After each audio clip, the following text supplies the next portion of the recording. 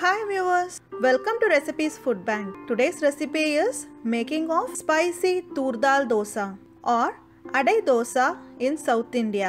It is a tasty and yummy tiffin recipe which you can serve in dinner or in the breakfast. It is very delicious and mouth-watery. You and your family will love to taste it. Come on, now let's get started to learn how to make spicy tur dal dosa. To prepare spicy tur dal dosa, you need 1 cup of idli rice, quarter cup Bengal gram dal, 3 by 4th cup tur dal, quarter cup urud dal and 4 red chilies. So all these ingredients in the water and allow them to rest for 4 to 5 hours. Then drain out all the water and grind them to a smooth paste. Now you can see the batter is ready. This is the consistency which you have to maintain for the batter to prepare spicy tur dal dosa. Add 1 and a half teaspoon of salt and mix well. Allow this batter to rest for 3 to 4 hours. Then you can prepare spicy tur dal dosa using this dosa batter.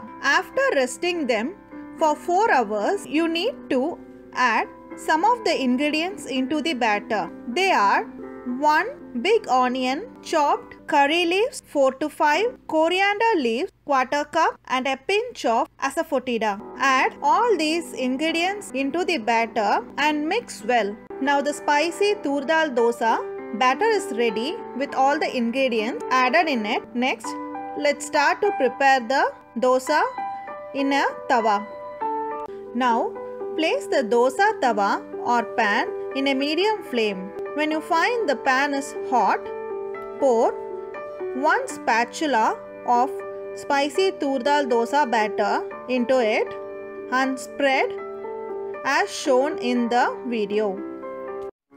Sprinkle a little amount of oil on the dosa. Close the lid and allow them to cook till you find a little color change in the dosa. It may take just half a minute for the dosa to get cooked from one side. Now open the lid. One side of the dosa is ready. Flip them to the other side. Allow them to get cooked for another half a minute. Now flip it back and fold them so that you can place it in a serving tray or plate. Okay viewers, your spicy tur dal dosa or adai dosa is ready. Serve this with avial, a South Indian recipe or any coconut or tomato chutney. Try this recipe and post your comments. Feel free to subscribe to Recipes Food Bank videos. Catch you back with a new recipe. See you then. Thanks for watching. Bye-bye.